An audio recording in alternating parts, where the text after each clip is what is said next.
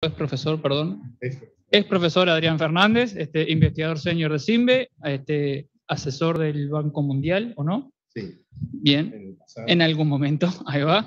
Este, egresado de la facultad, por supuesto, profesores, profesores de varios de los que están o estábamos acá. Este, los dejo en sus manos para este, la presentación que nos va a mostrar hoy, que justamente tiene que ver con amenazas a la credibilidad de las estadísticas oficiales y cómo construir confianza. Hablo acá en el micrófono. Ah, Bueno, este, buenas tardes a todos.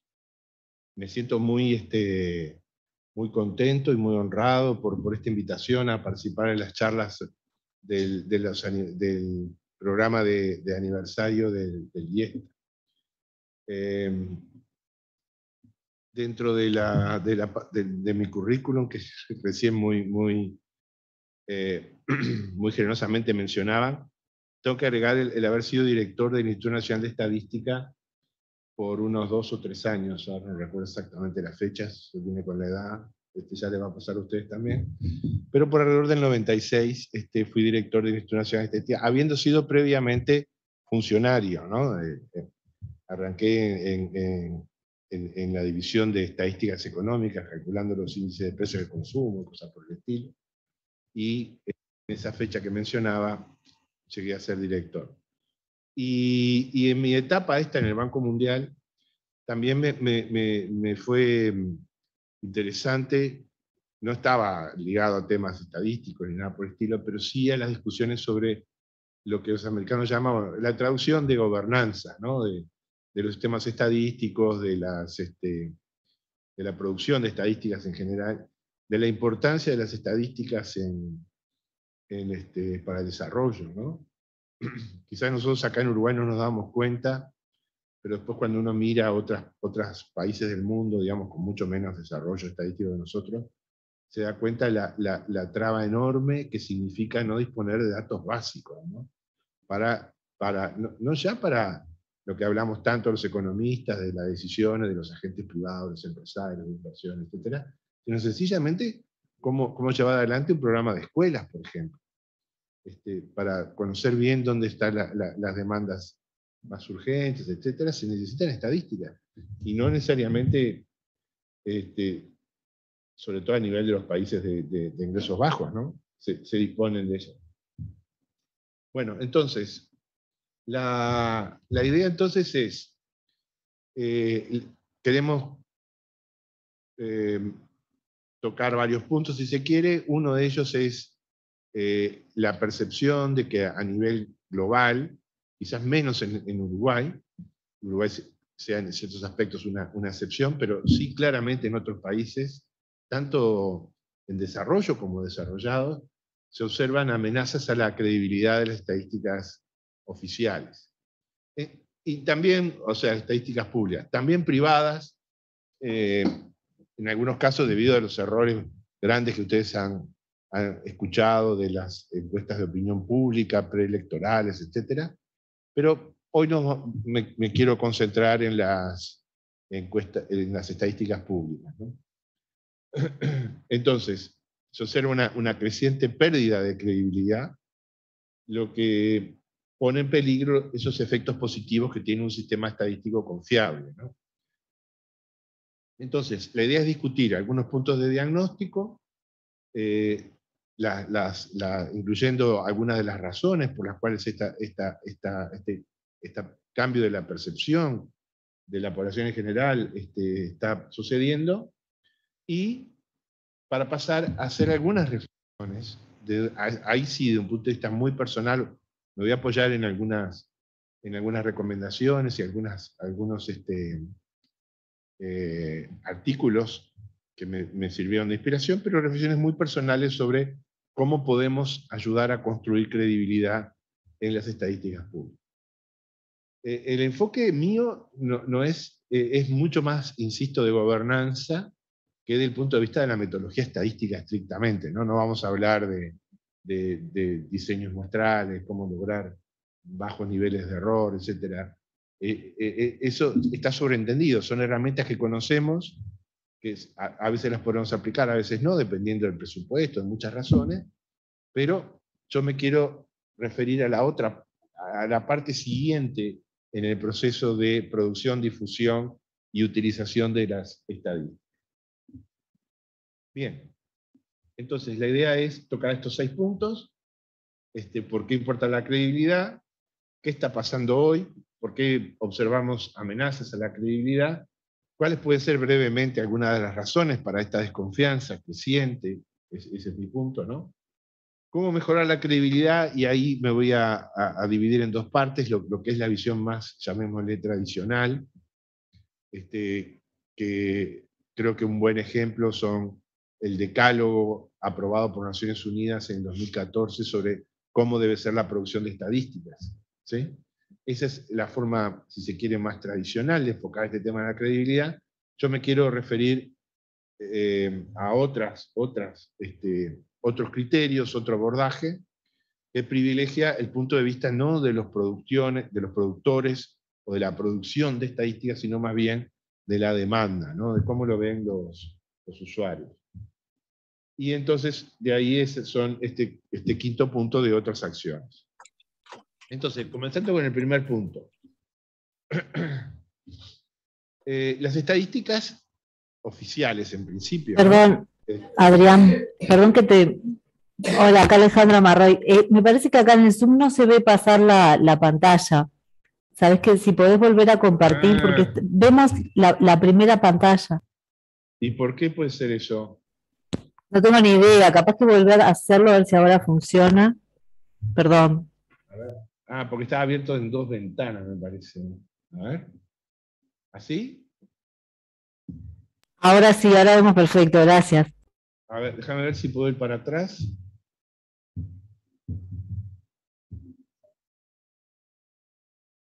¿En dónde? Ahora.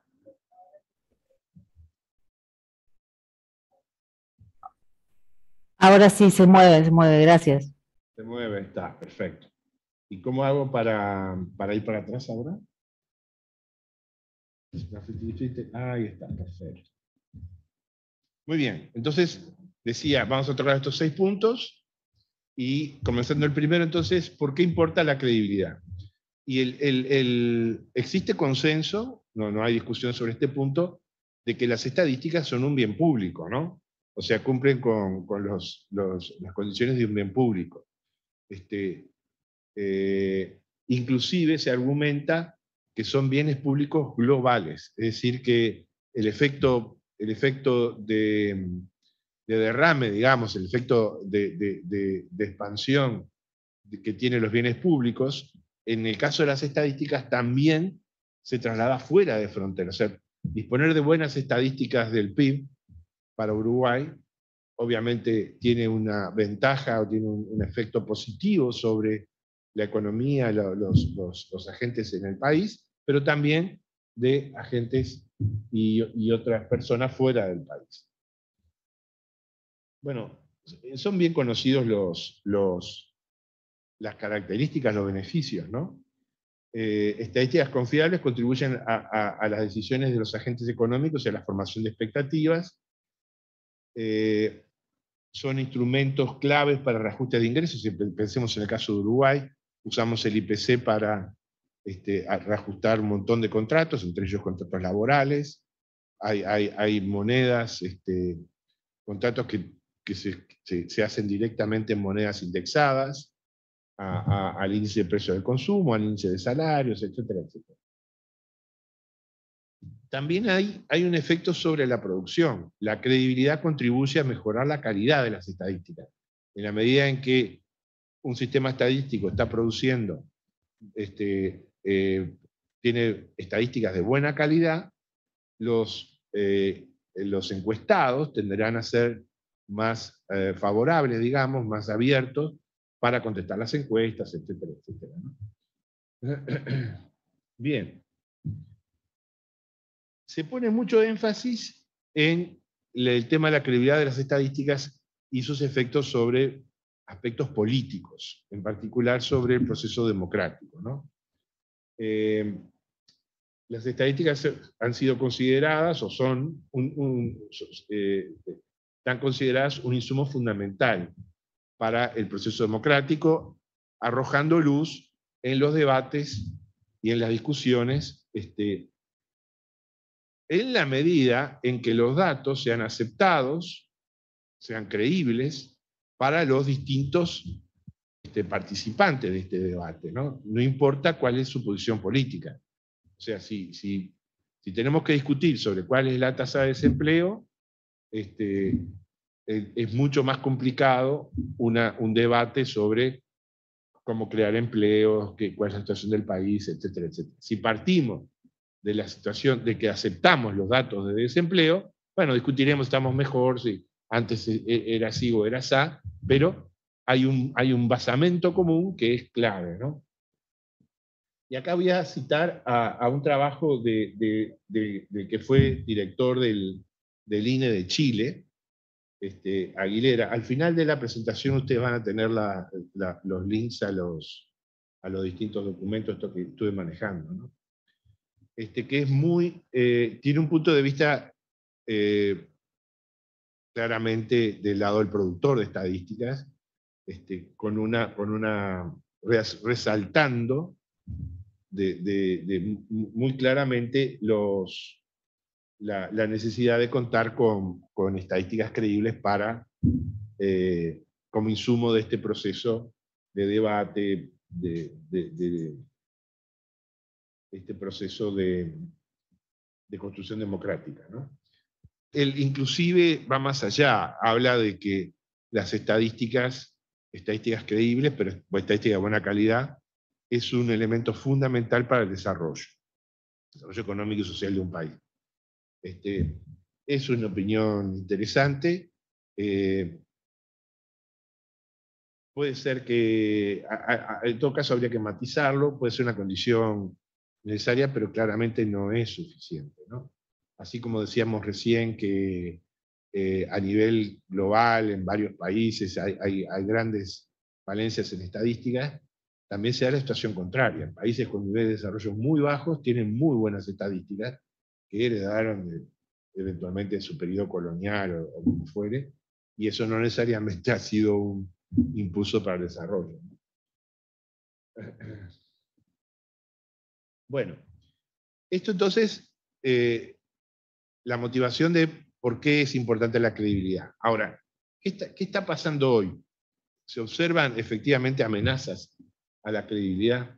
Bueno, el primer punto es que no, no, en general no hay estadísticas confiables sobre cuál es la confianza en las estadísticas. Parece medio este, una ironía las palabras que estoy diciendo, pero hay, hay, hay pocos casos. Eh, hay uno que es paradigmático, que es el caso del Reino Unido, este, y los americanos, por ejemplo, los Estados Unidos tienen distintas encuestas de satisfacción de usuarios, cosas por el estilo, pero no necesariamente enfocadas a este punto de la credibilidad estadísticas. ¿no? Eh, no es sencillo, evidentemente, porque una de las preguntas que uno puede hacerse es, bueno, muy bien, pero precisamos que, que qué actores este, tengan credibilidad en las estadísticas. Por ejemplo, eh, hablando de estadísticas económicas, eh, se ha insistido que es muy importante que los, los inversores, los empresarios, los agentes económicos en general, este, tengan confianza en esas estadísticas para poder tomar mejores decisiones de inversión. la inversión extranjera, por ejemplo, este, en muchos casos, uno de los puntos claves de su, de su lista de condiciones para erradicar una inversión es disponer de buenos datos este, sobre el país en cuestión. Eh, pero en última instancia, más allá de que nosotros podemos pensar la credibilidad eh, enfocada hacia distintos grupos, lo que importa es la percepción general. La percepción general de las personas, los ciudadanos, digamos, sobre las estadísticas. Y acá hay un punto interesante. ¿En qué medida es posible disociar o separar lo que puede ser la confianza de la gente en las estadísticas de lo que puede ser la confianza de los agentes, de las personas, en la acción del gobierno en general.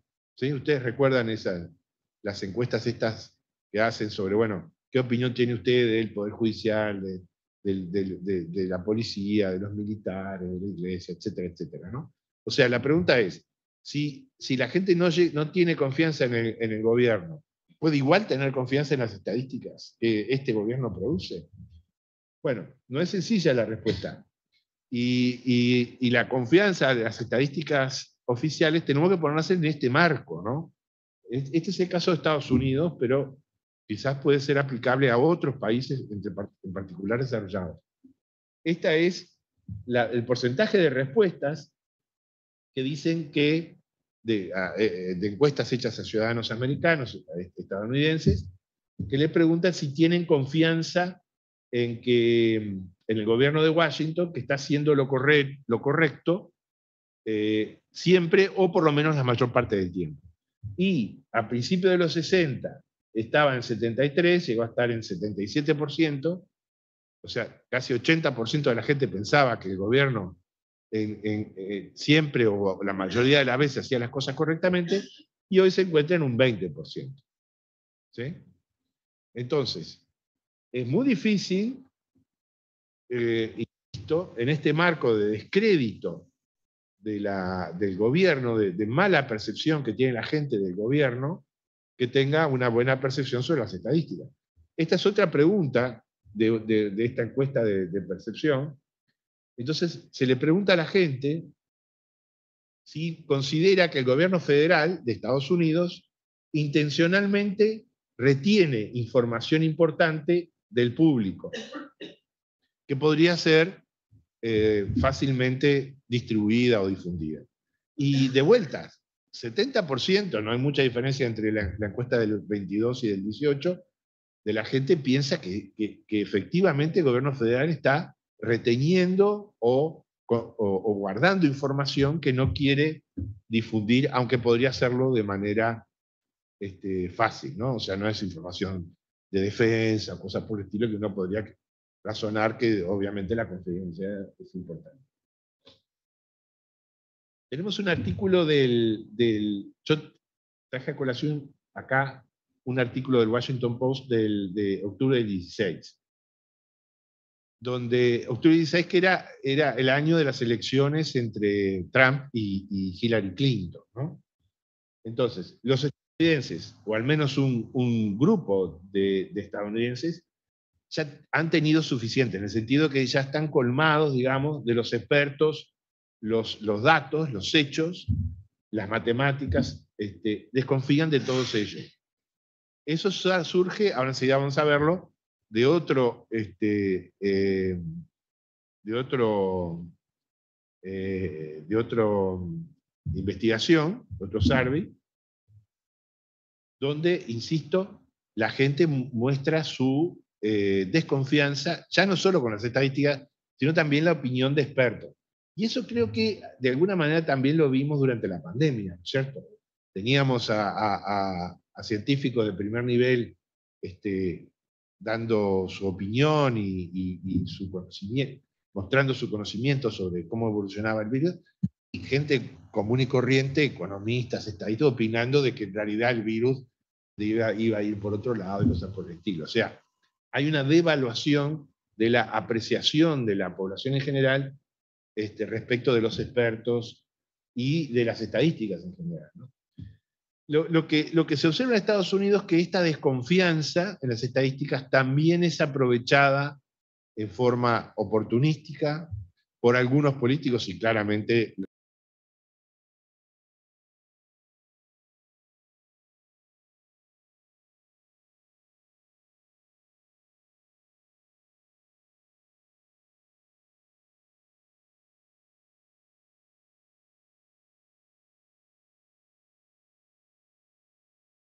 Hola.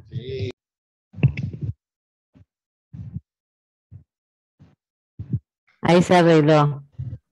Gracias. Bueno, bárbaro. Yo no sé, estábamos por esta, esta altura. Sí, estabas contando lo de Trump, ahí se quedó.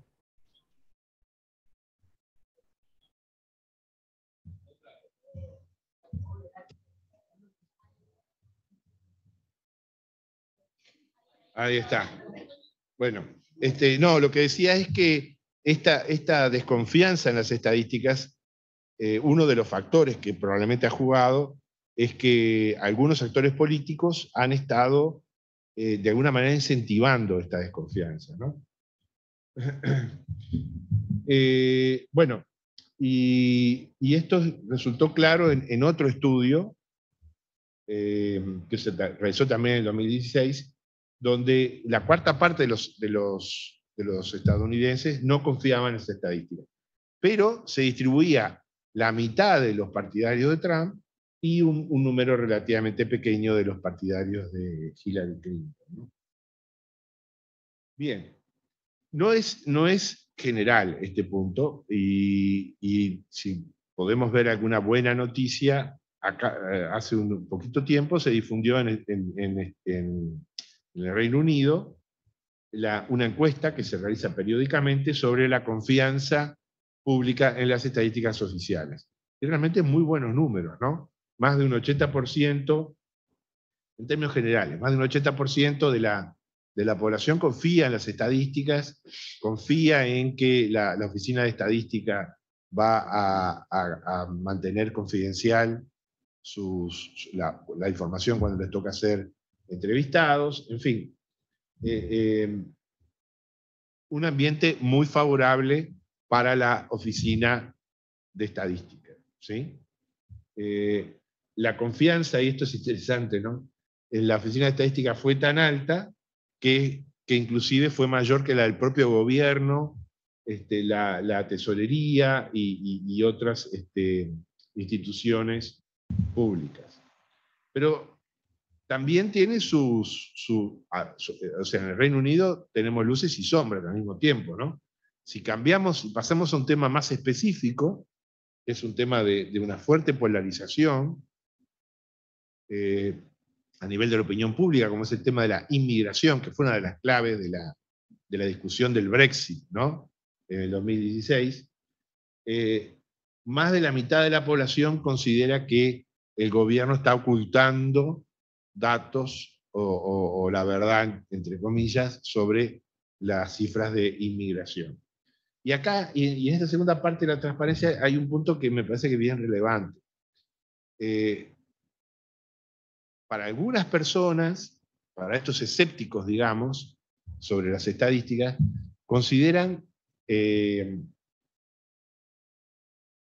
consideran que es, es un elitismo es, apelar a, una actitud de élite, el, recurrir a evidencia cuantitativa. O sea, la gente está confiada en, cosas que puede comprender, entre comillas, como pueden ser relatos o fotos o, vivencias cualitativas, si se quiere, sobre el tema de inmigración. Pero si uno apela a datos cuantitativos, resultados de encuestas, de estudios, etcétera, sobre todo Em, relacionados con los aspectos positivos que tiene la inmigración en el PIB de un país, etcétera, etcétera, el común de la gente, digamos, tiende a, visualizarlo eso como una, eh, un aspecto de, soberbia o de, o de, o de, algo apartado, digamos, de lo, de lo que es su, comprensión y su, y su participación. Entonces, hay claramente amenazas a la credibilidad en, varios países a, lo largo del mundo. Es decir, de, alguna manera se ha deteriorado la credibilidad en las estadísticas oficiales en varios países. ¿Cuáles pueden ser las razones para esta desconfianza? Bueno, eh, eh, una de las razones claramente este, puede ser, puede suceder que eh, episodios de manipulación de estadísticas en el pasado hayan generado desconfianza de la población sobre las, estadísticas. ¿no? Eso puede ser una de las causas. Eh, la otra es este, eh, personas ya con eh, actores que con mucha mayor especialización y, conocimiento, ¿no? necesariamente métodos estadísticos, pero este, pueden observar debilidades de las metodologías estadísticas en ciertos casos. Este, y en algunos casos también parte de la credibilidad puede estar referida a, las personas que están contestando encuestas, que pueden tener la desconfianza de si sus datos van a ser tratados de forma confidencial. Esto que para a nivel de las personas puede parecer no muy este, fundado, digamos, cuando pensamos en empresas que están contestando sobre datos, en, algunos casos sensibles de su, de su estrategia de producción, cosas por el estilo, este, el, tema del secreto y la confidencialidad de, los datos es un punto clave. Pero más que estos aspectos que están referidos a la, producción de estadísticas, si ustedes quieren, el lado, el lado de la oferta, creo que lo, que hay que resaltar, este, estas razones para la pérdida de credibilidad, es la importancia del contexto y todo esto que veníamos comentando de la, división. Los, los, casos de, errores del lado de la producción en general son, son más acotados. ¿no? Tenemos ejemplos en, Argentina, claramente, este, en la etapa de, donde no se tenía confianza en, en los resultados del IPC, del PIB, etc no solamente el país es en desarrollo, digo, eh, probablemente ustedes recuerden también la gruesa manipulación que se hizo de, las cuentas fiscales, este, de los resultados del gobierno y de, los niveles de deuda, en el caso de Grecia, cuando, que fue uno de los factores que contribuyó a la crisis del 2014, ¿no? Eh, que además después tuvo este, repercusiones en varios países este, europeos. Además, y eso hay que ser también, ese es un punto que hay que, hay que, hay que prestarle atención. Muchas veces nosotros, como productores de estadísticas, tomamos como algo natural la aplicación de los criterios y las recomendaciones internacionales, por ejemplo, este, cuando no necesariamente esas recomendaciones pueden ser claramente entendibles y compartibles por el público en general. Me refiero como ejemplo, una anécdota cuando yo estaba en el, Instituto de Estadística, se estaban preparando el censo del 2016 y en algún momento se decidió publicar el, formulario para, para, justamente para tratar de lograr a través de mayor transparencia, etcétera, este, mayor receptividad en la gente. Y la pregunta de empleo, como ustedes probablemente sepan, la pregunta de empleo, en realidad se le pregunta, ¿trabajó usted la semana pasada? ¿Y cuánto trabajó? Bueno, al menos una hora, ¿no? Esa es la definición de la OIT, que se sigue en Uruguay de hace décadas, ¿no? La gente quedó indignada de que el Instituto de Estadística estuviera considerando ocupados a alguien que había trabajado una hora la semana anterior. Tuvimos que armar toda una estrategia de, mostrar las frecuencias y prácticamente no había gente que hubiera trabajado menos de cinco horas, digamos, ¿no? Era, era, era, era, este, absolutamente marginal. Pero nosotros preguntábamos así para adecuarnos a, lo que eran las recomendaciones este, internacionales. Entonces, ahí en estos casos este, es necesario, creo, una tarea con mucho cuidado, ¿no? hay que pensarlo muy bien este punto porque puede llegar a ser hasta contraproducente. Este, de la misma forma, algunas definiciones que se toman, es decir, resulta poco entendible, por ejemplo, el hecho de que eh, el trabajo eh, de la mujer, o, no importa de, qué género, ¿no? en, el, hogar, para los cuidados del hogar, no, no computa para el PIB, y, sí, sí se paga en salarial. ¿no? Este, entonces, todas estas que son definiciones y que obviamente hay que respetar, porque así podemos comparar estadísticas entre países, tienen que ser cuidadosamente eh, explicadas, porque si no... Bueno, eh, acá es de vuelta el, tema de la importancia del contexto. Eh, a veces se plantea esta, esta, este tema de la credibilidad, como recién veíamos en el caso de, de Trump, ¿no? Este, en el sentido de que quienes no, eh, no fomentan o no aceptan, digamos, las actitudes, las estadísticas oficiales, tienden a ser, entre comillas, populistas o populistas de derecha.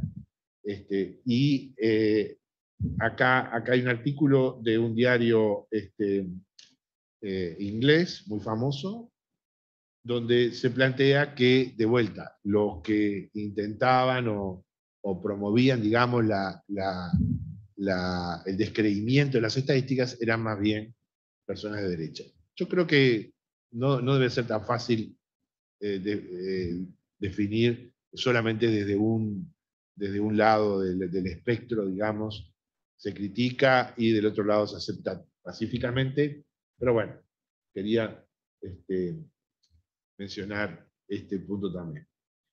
Bueno, ¿cómo mejorar la credibilidad? Bueno, acá, eh, acá hay una respuesta tradicional ¿no? para mejorar la credibilidad, que yo les llamé desde el punto de vista de la oferta. Es transparencia, gobernabilidad, y, el ejemplo claro son los principios que, que, lo, puse en inglés, discúlpenme, pero son los principios conocidos de, Naciones Unidas, de la Oficina de Naciones Unidas, que, fueron aprobados formalmente por la Asamblea General en 2014, pero que ya tienen, eh, como habían sido resueltos antes, ya tienen casi 30 años de, vigencia. Y, constituyen el decálogo, el decálogo perfecto sobre cómo debe pensarse la producción de las estadísticas, ¿no? ¿Cuáles tienen que ser los elementos claves en la producción de estadísticas? Pero el problema es que esa respuesta tradicional, cuidemos la transparencia, cuidemos la gobernanza, la independencia técnica, etcétera, etcétera, no necesariamente hoy es tan efectiva. Y ahí vuelvo a, ese artículo de Aguilera que les mencionaba. Eh, acá no se trata de que las estadísticas tengan buena calidad, o sea, por supuesto que sí, se trata de que las estadísticas tengan buena calidad, pero no solo eso. O sea, si nosotros pudiéramos armar una evaluación de las estadísticas, un indicador internacional, esto es tan, de moda, no alcanza con tener un, puesto alto en el ranking. Se necesita que la gente confíe realmente en esas estadísticas. Por más que, sean, que sean excelentes desde el punto de vista de su, producción. Y es eso que dice Aguilera. Es la sociedad la que tiene el derecho a exigir una, una relación creíble con las estadísticas que se producen poner el foco del asunto solo de la perspectiva de los productores favorecerá un análisis que creará prematuramente medidas operativas. ¿sí? Cómo mejorar la producción, que no necesariamente considerarán las orientaciones que le darán mayor efectividad desde el punto de vista de la difusión y la credibilidad a nivel de, la, de ciudadanía. En ese sentido, entonces, quiero, quiero pasar acá, ya para terminar con la charla, este, a, tocar algunas reflexiones sobre cómo mejorar la, credibilidad de las estadísticas. Partiendo de la base de que tenemos una buena calidad en la parte de la producción, ¿cierto? Tenemos una oficina y un sistema estadístico en general, ¿no? Independiente técnicamente, este, con buena producción, con producción de calidad, pero ¿cómo hacer para, para lograr esa mayor credibilidad? en mi opinión, y quiero plantearlo como una reflexión y la posibilidad de intercambiar ideas con ustedes, hay que priorizar acciones para tres tipos de usuarios. Usuarios especializados, actores políticos y sociales y comunicadores. Por especializado me refiero a, bueno, obviamente, estadísticos, economistas, usuarios especialistas, digamos, de las estadísticas que se están produciendo. ¿no? cosa que normalmente la, la Sociedad de Estadística y el INE en particular hace muy bien. ¿no sé? Se junta con, este, con, con usuarios, eh, el, INE tiene una, una, relación hace muchos, mucho tiempo con eh, organismos este, universitarios, ¿no? el IECON o universidades privadas, etc. Entonces, de ahí el intercambio de información. Este, bueno, quizás haya que pensar en medidas un poco más sistemáticas para conseguir eh, retroalimentación de parte de los usuarios especializados sobre este, la producción de estadísticas y la, mejor difusión. Con los sectores políticos y sociales también hay que tener una estrategia este, eh, específica. Eh, el, INE, con, con, la dirección de Diego Agual, ha, tenido varias reuniones en, el Parlamento comentando los planes de la, dirección del INE y del sistema estadístico, etc. Yo creo que hay que pensar mecanismos por los cuales este tipo de, instancias sean más eh, permanentes, ¿no? sean más recurrentes. Y no necesariamente con los, bueno, con los actores políticos, empezando diputados, senadores, sí, por supuesto, pero también con sus asesores, o sea, que esas reuniones puedan participar el, el, senador, el diputado del, partido político X, pero también uno, o bueno, lo que sea, de los técnicos en el tema, que puedan, que sean de la confianza, obviamente, de, la persona involucrada, y que ayuden a tender el puente entre el, el sistema estadístico, digamos, y estos, estos actores políticos. Lo mismo vale para actores sociales, ¿no? sindicatos, empresarios, etc. Con los comunicadores eh, hay que también tener una, actitud, yo diría, militante de formación este, con, ellos. ¿no? Eh, recuerdo el Banco Central tenía en su momento una serie de, de cursos dedicados a periodistas económicos, en el INE creo que en, alguna, en algún momento intentamos hacer algo, es posible que, estos últimos tiempos también se haya tenido alguna iniciativa de ese estilo. Este, los periodistas en general, mi impresión es que son muy abiertos para, para este, este tipo de eventos de formación y este, evidentemente pueden ayudar a mejorar la comunicación y las, la, la difusión de las estadísticas. Y en esa línea también creo que, eh, hay que deberíamos poner paños fríos en esa idea que existía cuando yo era director, por ejemplo, de que el, Instituto de Estadística tenía que contribuir a la alfabetización estadística de la sociedad. O sea, tratar de impulsar este, eh, instancias de comunicación, libros o folletos o, que contribuyan o, que ayuden a, un mejor entendimiento de parte de la sociedad en general de las estadísticas. Yo sería eh, cuidadoso en este punto porque, como, como, recién mencionaba, no, no, es tanto un problema de, de, desconocimiento de la gente, sino que a esta altura, en muchos casos, no necesariamente en Uruguay, pero lo que se nota es una actitud hostil hacia las estadísticas. Entonces, este, no, sé hasta qué punto vale la pena esos instrumentos que quizás tuvieron éxito o, cierto suceso en el pasado, pero creo que no necesariamente lo tendrían en, las presentes circunstancias. Eh, como segunda consideración, y creo que e, esto, esto sirve para las para, los, eh, para el sistema estadístico, ¿no? Hay que construir conocimientos sobre la credibilidad. Este, esta encuesta que hacen en, el Reino Unido, hay que pensar en algún tipo de replicación en, este país, en nuestro país. Es decir, no necesariamente por parte del INE, porque no puede ser juez y parte de, la, encuesta, pero bueno, este, por mecanismos de, contratación, en fin, con, con, los institutos universitarios, como fuere, este, llevar adelante una encuesta que nos ayude a medir y sobre todo a ir generando un conocimiento a lo largo del tiempo de cómo está evolucionando la credibilidad. ¿sí? ¿En qué aspectos hay que poner más énfasis con en, términos de difusión, en la población general, etcétera? y después, como último punto, y con eso estoy cerrando, en términos de diseño institucional y, gobernanza. Eh, yo recuerdo cuando cuando recién entraba al Instituto de Estadística, hacíamos estos seminarios estadísticos nacionales, que era, eran, eran, eran ejercicios interesantes, uno conocía a, las personas del, resto del sistema. Eh, yo participé en el seminario del 81, si no estoy equivocado, eh, pero eran ejercicios eh, donde faltaba lo principal, que eran los usuarios de las estadísticas. Veníamos los productores y, cada cual venía y aportaba su, pequeño pet project, digamos, a la lista de, actividades estadísticas desarrolladas. O sea, ¿qué quiero decir con esto? Que el tema del diseño institucional importa, por supuesto, eh, la, independencia técnica del, Instituto de Estadística, en general el sistema estadístico importa, obviamente, pero ese punto no sé si es el más relevante hoy en día.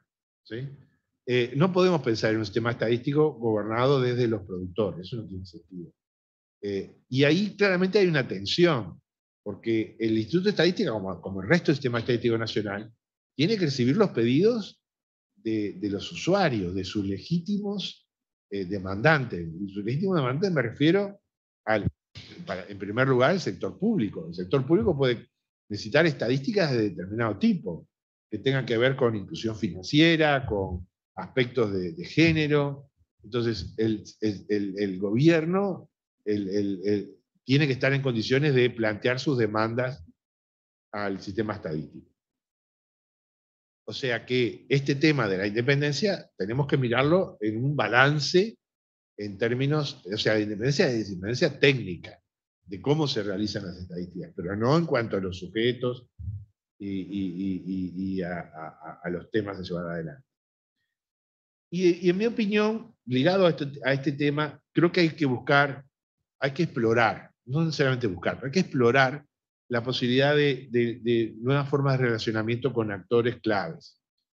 Eh, ¿Qué estoy pensando? Bueno, había una, institución en el previo a la, a, la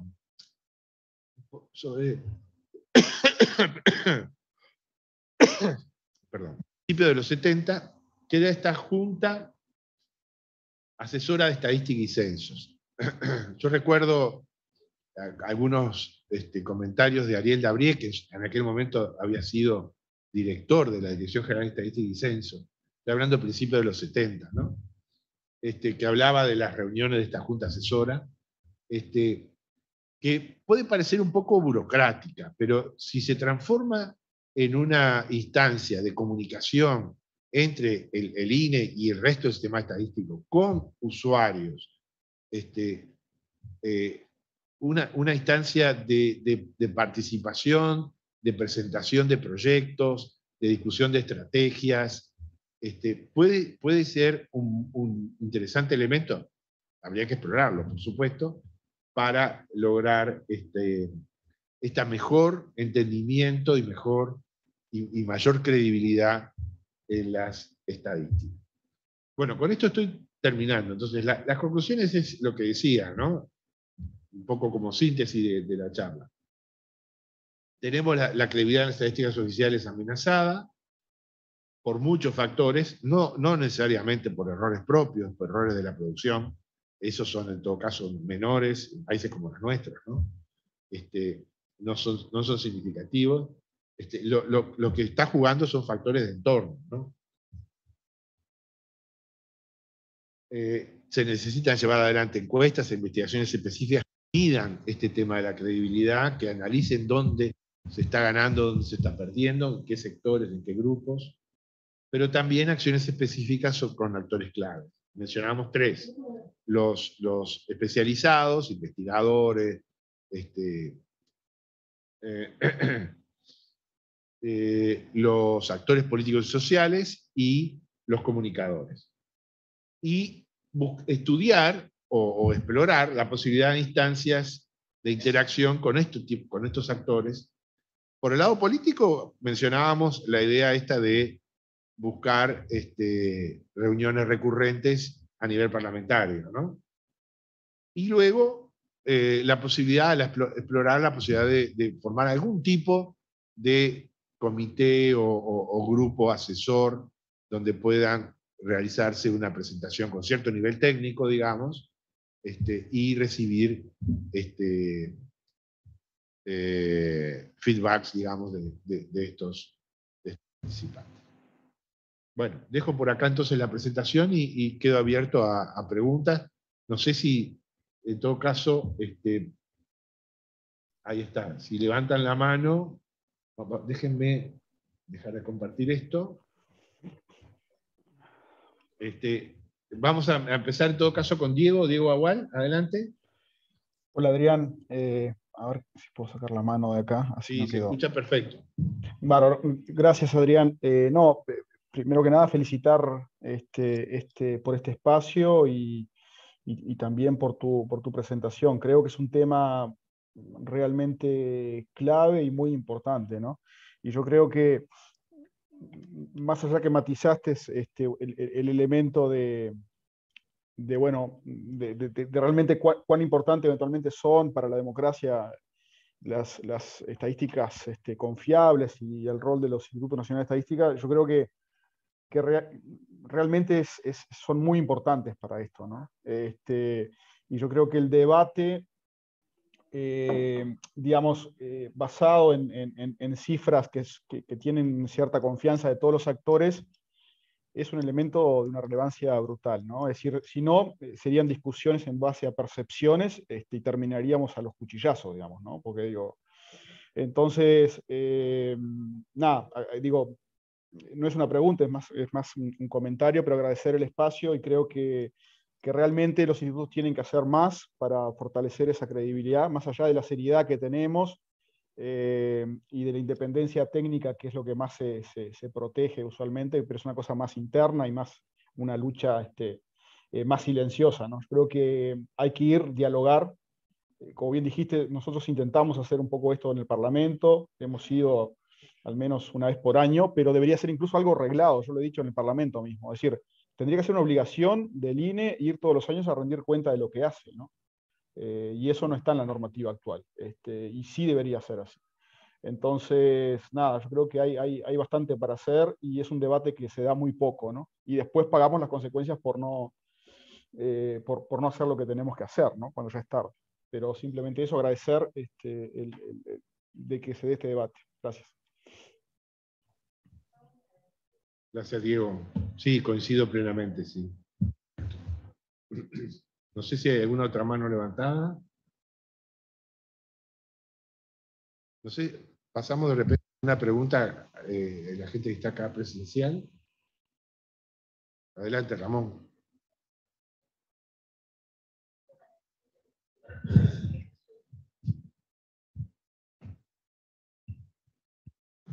Eh, bueno, gracias Adrián por la, primero por venir y por la charla tal cual la, encaraste, que parece que mm, está bueno en el sentido de que eh, mostraste un panorama eh, que no sé si los que hoy estamos acá, que en cierta forma estamos del lado de, la, de los consumidores, tenemos tan claro cómo es eh, en otras este, realidades esa tensión que se produce entre los que producen y los que consumimos.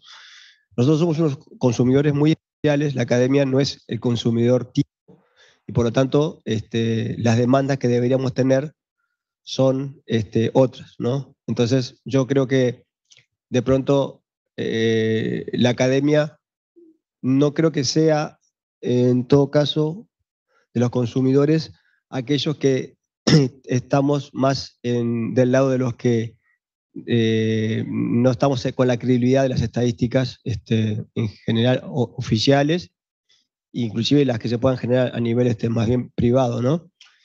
Pero eh, hay una cosa que creo que está vinculado con esto, que hay una cosa que te voy a hacer una pregunta y después, primero, no sé, y después una reflexión, y es, eh, nosotros como académicos a veces eh, la propia forma en la que estamos funcionando la academia obliga a hacer determinadas cosas que son, por ejemplo, producir.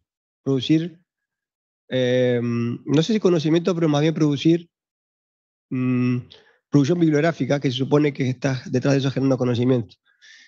Pero ahí, últimamente, con esa gran exigencia que se nos eh, eh, impone a, la gente de la academia en producir este, producción bibliográfica.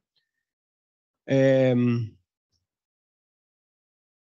a veces pagamos la consecuencia de que un, un, artículo, de pronto si ese es el formato en el que uno trata de divulgar el conocimiento, se hace con datos que son de fuente secundaria, ¿sí? creíbles, tiene menos chance ¿sí? de ser publicado que si de pronto se generan datos de, primarias que se generan de, con muy mala calidad. A lo que voy es, y en, los últimos años de la pandemia le hemos sufrido que pandemia por medio, había como casi una tentación de decir, bueno, yo agarro y pongo, elaboro un Google Form donde quiero estudiar determinadas cosas y que lo llene la gente que lo llene. Y por lo tanto se genera una masa de datos que no sabemos básicamente qué está queriendo este, decir. Y me consta que a partir de ahí se hacen este, artículos, se publican y tienen más chance de ser este, em, publicados que de pronto si uno acude y, digamos, por tema de principio, decir, bueno, hagamos de esto este, eh, el uso de fuentes secundarias creíbles, una, una forma de, de, trabajar, este, y entonces, yo tiro sobre la mesa como un problema que se nos yo entiendo que se nos presenta en, la academia, y que también tiene que ver con la credibilidad, ¿sí? Este, y que no opera del mismo modo según sean las áreas donde se o sea, eh, las áreas del conocimiento de donde se generan los datos. Es decir, este problema no es lo mismo en el área de la economía o de las ciencias económicas que de pronto en el área de la salud, donde yo en general eh, participo bastante y este, me ha tocado, digamos, pasar por esa, ese tema de que, em, de que bueno, eh, nosotros consumidores resulta que estamos, no, es necesario que nos convenza de que las estadísticas son creíbles, sino que en realidad, eh, por otro lado, nos están impulsando a, generar estadísticas no creíbles por un tema, digamos, este, totalmente em, perverso de por cómo nos hacen funcionar en, la academia. ¿no? Eso, digamos, un comentario y el cual me hago, este, responsable del mismo. Este, digamos, tanto como investigador como en este momento me toca estar en la dirección del instituto, de, acá del, del Y la otra cosa es, es más que una, una este, es como una pregunta que, creo que también tiene que ver con la credibilidad y es, ¿cómo es, capaz que tu experiencia, que hace mucho tiempo estás en Estados Unidos, el tema de, los datos abiertos, que creo que también tienen que ver, o sea, esta pregunta de pronto de la credibilidad este, no, es no sería igual digamos, años antes, donde de pronto el tema de datos abiertos, que claramente eh, tienen que responder a una cierta, este, mm, digamos, eh, conciencia de que tienen que haber datos abiertos de los cuales este, mm, quienes quieran pueden usarlos, ¿sí? Como es un poco allá en, donde estuviste últimamente, allá en, en el norte. ¿está? Gracias.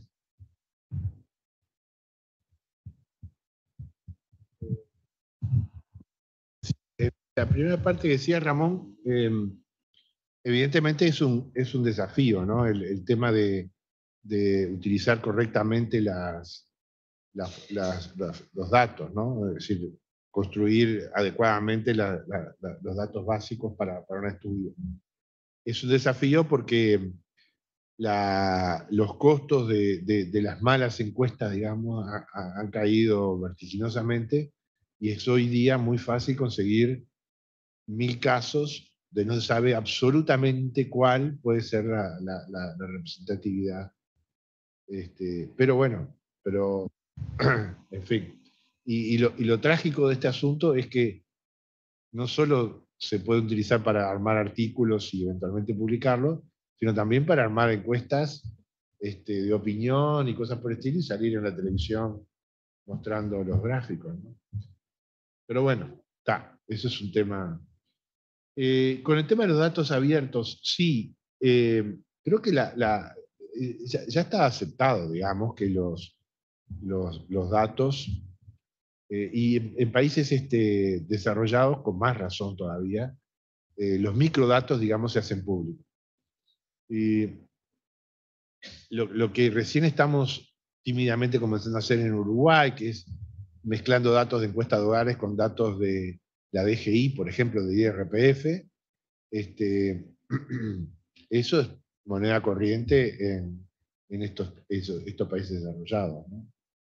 Y son claves, porque ya sabemos que las encuestas de hogares miden mal este, los ingresos del, del, del, de decil o quintil más alto. Entonces, si podemos complementarlos con los datos de la DGI, no significa que vamos a tener la, la, la maravilla, pero por lo menos van a claramente a mejorar este, esta información. O sea, pero hoy, hoy la discusión, me parece a mí, está planteada en términos de los del Big Data.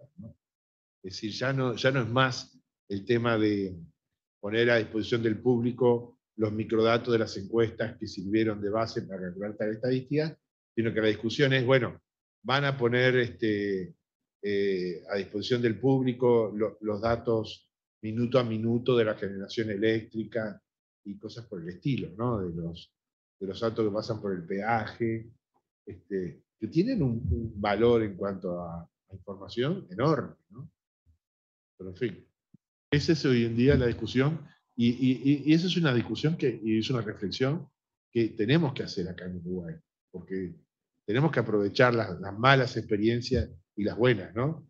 De otros países y, tratar de ver en, qué medida esas cosas se pueden llevar acá a Uruguay. No necesariamente va a afectar la credibilidad de eso, ¿no? Porque, bueno, será en todo caso una vía para mejorar la producción de estadística. Eh, había levantado la palabra, ahí está, y, Silvia también, pero tengo a Juan Pablo, así que tengo a Juan Pablo, Juanjo Genes y Silvia Alma. Voy en cualquier orden, si no que vaya primero este, Silvia y Juanjo. Como quieran. Bueno, entonces Juanjo. Bueno, de, de lo otra cosa. A mí, bueno, voy... A ver, Juan Pablo, vamos a decir. Le voy a llevar el micrófono a Juanjo, si no, no escucha a nadie.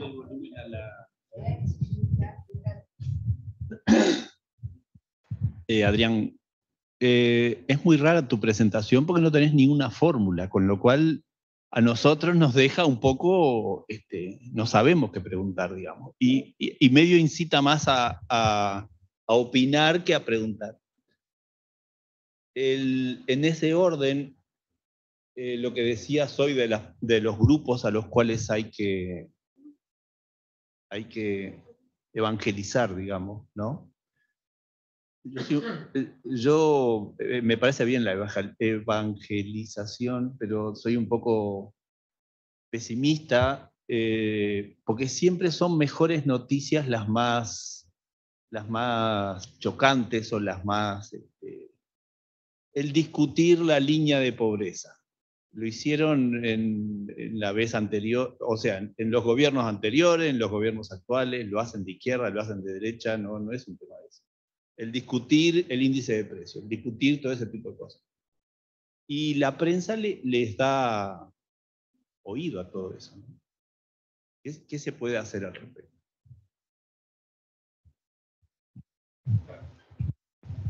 En realidad, yo tengo un objetivo más. No, no, no, no. Yo estoy de acuerdo. No, no, se va a poder eliminar la discusión sobre, sobre estas, sobre las cifras, etc. Pero el objetivo más modesto mío sería que los periodistas supieran de qué se tratan los, las estadísticas que están difundiendo, porque a usted les debe pasar, no, no, no voy a nombrar, pero muchas veces uno está mirando o escuchando una noticia sobre un, índice que conoce bien y se agarra la cabeza de la forma en que lo están presentando. ¿no? Por eso es lo que yo creo que hay que evitar. Es decir, que el periodista tenga un mejor conocimiento, pueda interpretar mejor los resultados, inclusive si está entrevistando a alguien que tiene una posición a favor, en contra, que tenga mejores elementos para hacer la pregunta. Si después la hace o no la hace, es un problema de ética periodística, pero por lo menos darle herramientas para que la persona este, pueda hacer mejor su trabajo, ¿no? Es eso. Y insisto, yo tuve alguna experiencia de, de algún seminario que armamos no me acuerdo bien dónde, a la altura del partido, pero con periodistas y, con mucha avidez por conocer, este, por, por, por, tener una... Así que creo que puede ser, puede ser útil para ellos y puede ser una contribución al bien común, ¿no? Bueno, no sé si, ¿cuál quiere pasar entonces, eh, Silvia?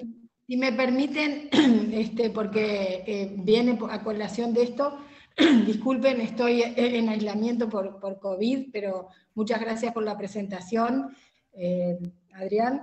Y como tengo dos periodistas en la familia, eh, me sumo a, lo que, al planteo este, porque más allá del público, de los actores especializados y bueno, y la responsabilidad que creo que le cabe a, ciertos este, eh, políticos y a ciertos dirigentes institucionales, gremiales y de empresarios o, actores este, de, sindicatos, digamos, en, conocer las cuestiones, me parece que lo que cuaja y lo que em, eh, em, permea en la sociedad y, creo que aporta a la credibilidad, que es un poco lo que estábamos hablando, es la opinión pública. Y los constructores de opinión pública son los periodistas. Entonces, uno escucha lamentables declaraciones comparando este, este, indicadores de, de, periodos distintos que te lo enseñan en el primer momento que empezás a usar un índice. No podés comparar algo mensual con algo anual o algo semestral con algo anual, lo hemos visto. Eso por un lado, pero por el otro, esto que tú decías de los cursos, los seminarios, me parece que sería muy importante, porque si no, ¿qué pasa? Tenemos periodistas hablando de economía y de indicadores y de, de, las cuestiones que los indicadores nos dicen eh, sin saber.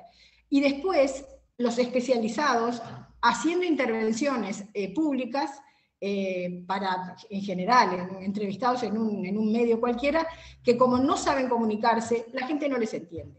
Entonces me parece que un factor clave, además de estas otras cuestiones que tú planteabas, que me parecen muy bien de, hacer la encuesta, de ver cómo, me parece que el INE, este, Diego, deberían recoger el guante de, ver esto que, decían, de, de, tener una instancia más este, institucional, digamos, a nivel político para, no sé si conformar esa junta o ese comité, pero sí se puede hacer una, una tarea, y, y, propiamente desde la UDELAR con la FIC, la Facultad de Información y Comunicación, la tenemos ahí enfrente de nuestra facultad, me, me parece que podría ser un, un, elemento muy importante. Y después otra cosa, estuviste, en, según tu currículum, estuviste de noviembre del 93 a mayo del 97 como director del INE, para traerte el recuerdo. Muchas gracias y saludos a todos.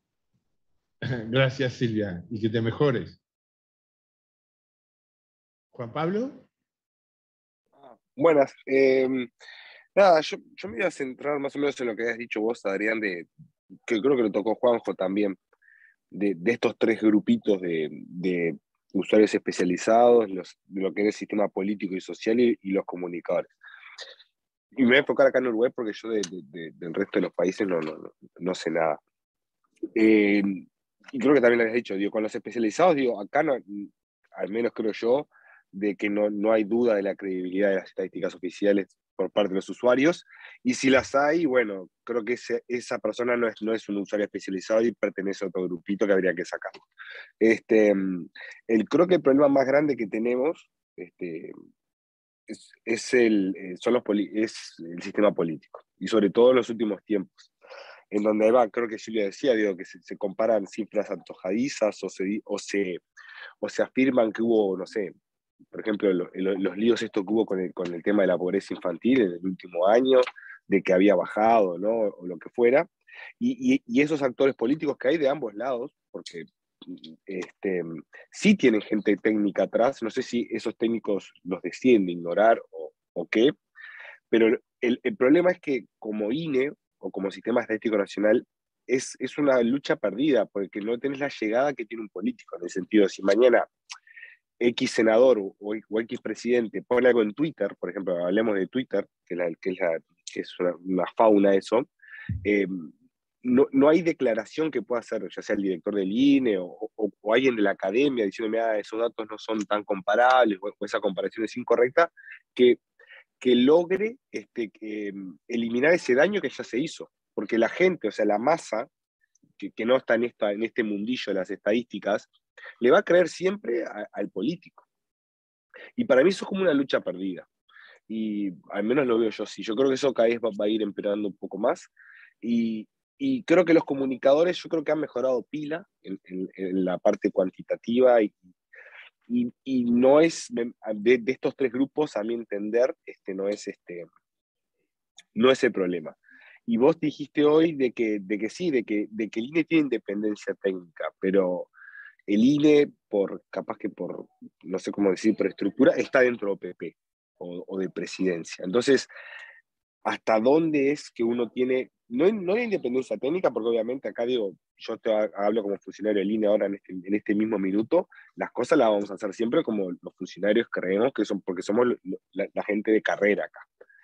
Este, pero nada, yo qué sé, si el presidente un día dice algo, dudo que el director de turno pueda decir, el presidente está equivocado y no pase nada.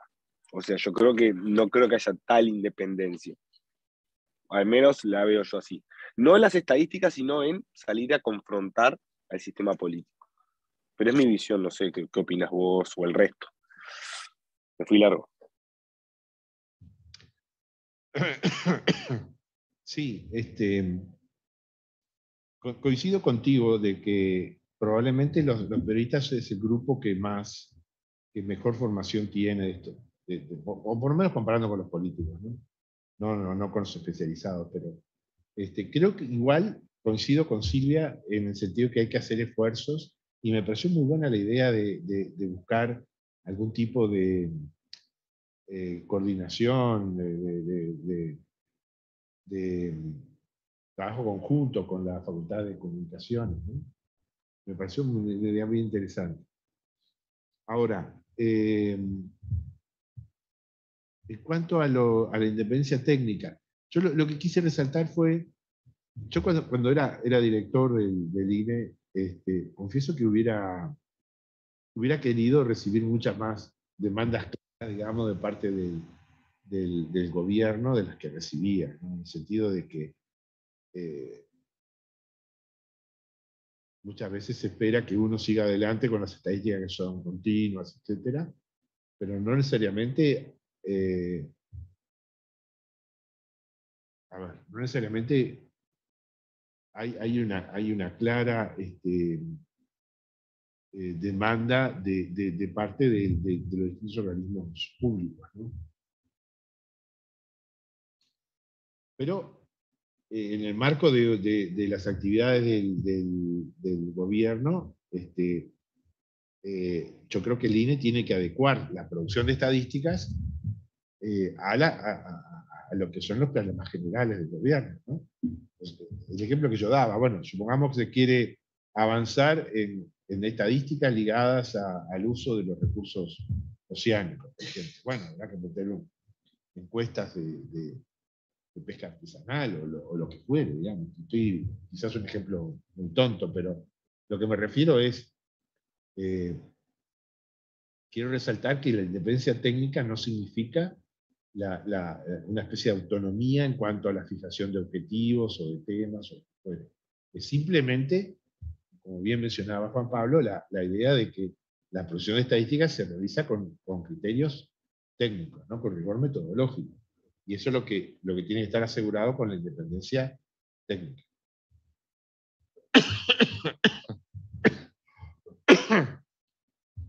Eh, Silvia tengo una pregunta.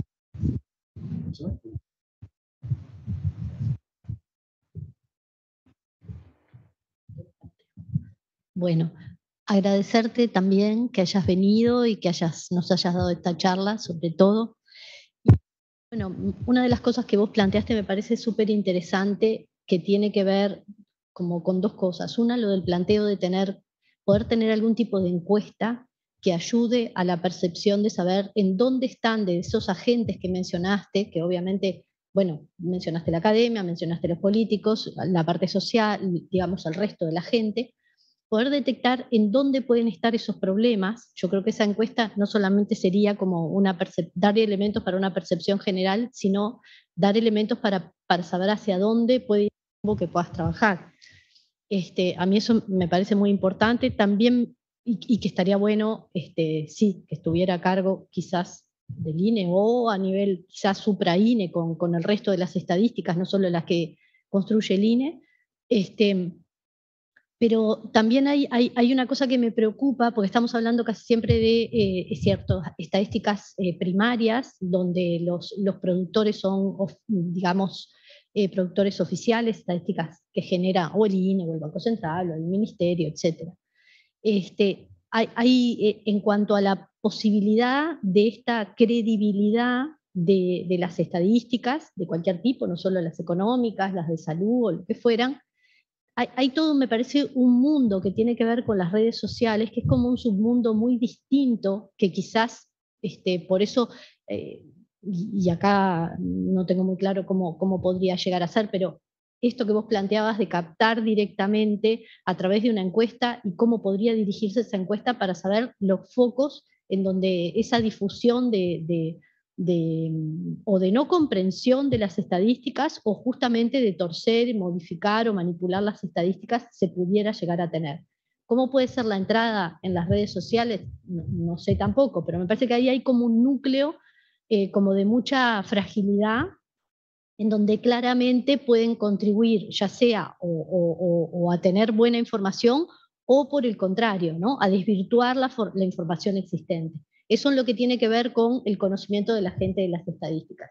Y después, la otra parte, la otra pata, los otros agentes, que son los, políticos, los que tienen seguramente eh, su vínculo con los comunicadores, porque son los que les dan espacios. Me parece sí que es bien importante lo que vos decías en cuanto a la capacitación, capacitación de sus asesores, y este, eso es bien importante. Y está un poco enrabado también con lo que decía Juan Pablo en cuanto a que, más allá de la independencia técnica, la independencia institucional, este, del INE, y ocurre también con otros, con otros lugares en donde se construyen estadísticas dentro de los ministerios, puede llegar a dar lugar a que alguna gente pueda asociar eh, equivocadamente la construcción de las estadísticas con una, una, cierta política social del gobierno de turno. Eso sin duda no es, lo que hace fuerte la independencia, la independencia, entiendo yo en este caso en el INE, obviamente está dada por, la confianza que uno tiene de la independencia técnica, pero es cierto que es, muy difícil que eh, un, director del INE, sea quien fuere, Diego en este caso o cualquier otro, pueda salir a decir que cuando se pusieron en duda los, los, datos de, informalidad eran básicamente porque nadie se había dedicado a agarrar y leer el informe de informalidad y no porque habían cambiado de un mes para otro. Bueno, es muy difícil decirle al presidente que está diciendo un disparate. Pero este, de hecho, eso se tira y después es muy difícil recoger, eh, digamos, eh, y, generar información correcta. Pero bueno, lo de la encuesta de la percepción sobre la credibilidad, me parece fantástico la propuesta.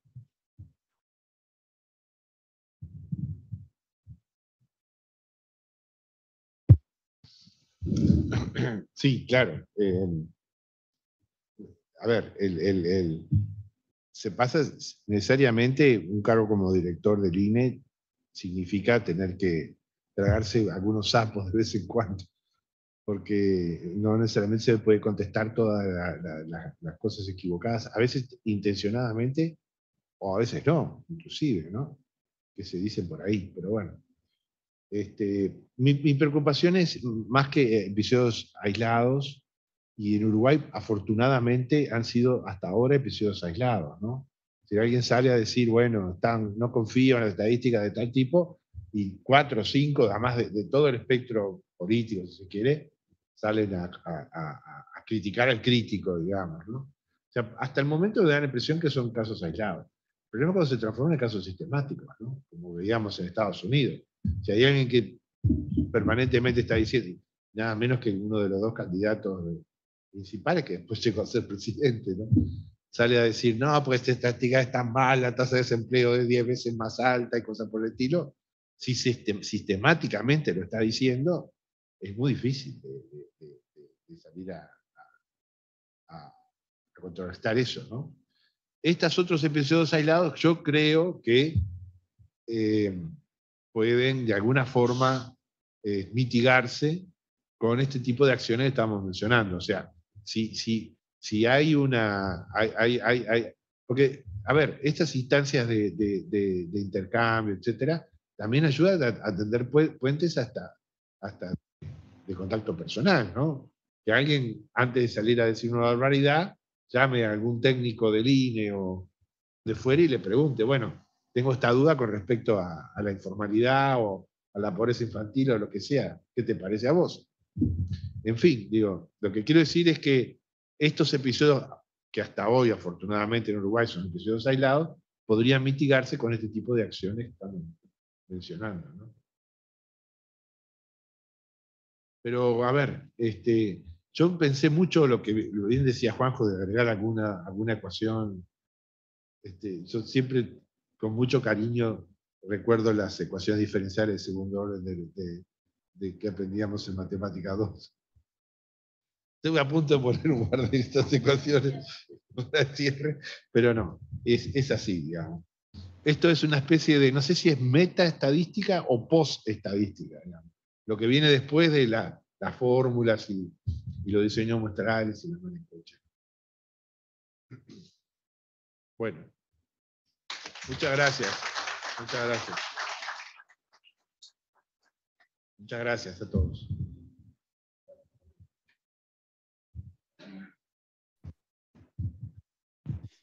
Que según, corregime, este, Adrián, vos nos prometiste que tal vez esto este, haya, una, haya como una segunda parte, ¿no? Este, que no sé cuándo va a ser, pero sí seguro que va a ser en, esto que nos propusimos, que es el, el, festejo de los 80 años, y que tal vez sea una cosa un poquito más larga, estás este, pensando, pero que está bueno que todos sepamos que va a haber instancias de poder disfrutar este, algunas cosas con Adrián, donde la idea es también, por lo que te entendí, eh, hablar de donde va a haber poca fórmula y mucho más de, reflexión y de sentido común. Bueno, era un poco el, anuncio ese. A